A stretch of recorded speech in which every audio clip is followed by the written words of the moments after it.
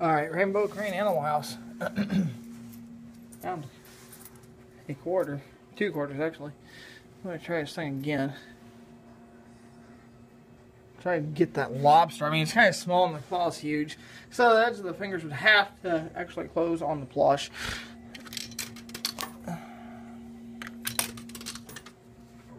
That's the only thing.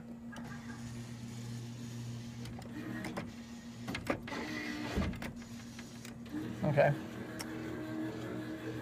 Not gonna make it. Four seconds. Ooh, that's got it. Nice. Hang on to it. That was a hard clamp right there. Nice.